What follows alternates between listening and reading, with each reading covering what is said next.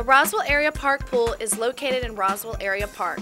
Pool supervisor Matt Gillentine feels the pool benefits the community.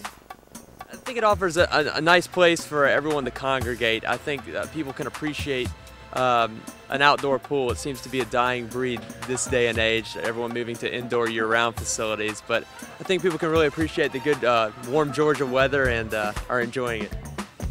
The pool offers activities for all ages. Swim lessons are offered um, starting with parent-child water fun and they go all the way up to um, uh, advanced uh, aquatics camp, so which involves like kayaks and canoes. So we've got lessons in the morning and we've got lessons in the evenings as well, and it, it, it varies um, from real young ones all the way up to 13, 14 year olds.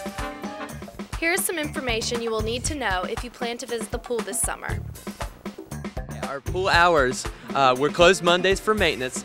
Uh, we're open Tuesdays through Fridays from 1 p.m. to 5.15 p.m. Then we'll close and then we reopen for night swim from 7.30 to 9. And on Saturdays and Sundays we're open 1, uh, 1 p.m. to 7 p.m.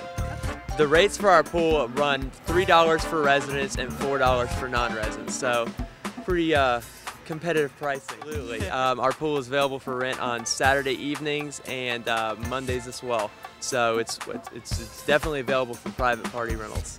Roswell Area Park Pool is open now through Labor Day, so come out today for a swim and get your feet wet.